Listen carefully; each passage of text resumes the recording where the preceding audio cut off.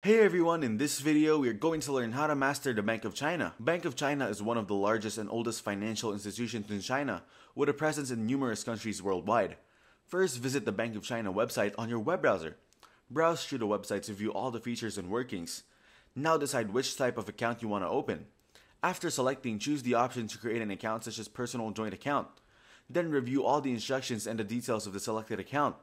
Read carefully to learn about this account and now click the login option on the top right side. On the next page, you need to enter the bank card name and the password. Finally, hit the login button to continue creating the account. After your account is created, set up online or mobile banking to manage your account. BOC offers a wide range of banking services, including personal and business accounts, international remittances, and savings accounts. I hope you learned something new today. Don't forget to like and subscribe for more content.